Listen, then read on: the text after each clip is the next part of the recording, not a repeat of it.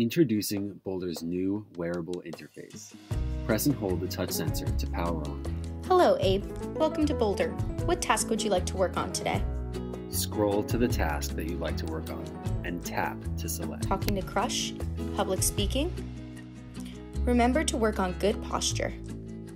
Receive real time and personalized feedback specific to the task you selected. From there, double tap to record an interaction. Double tap again to stop.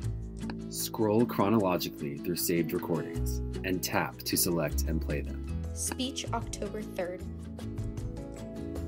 Scroll down to fast forward, up to rewind, and swipe fast to exit the recording.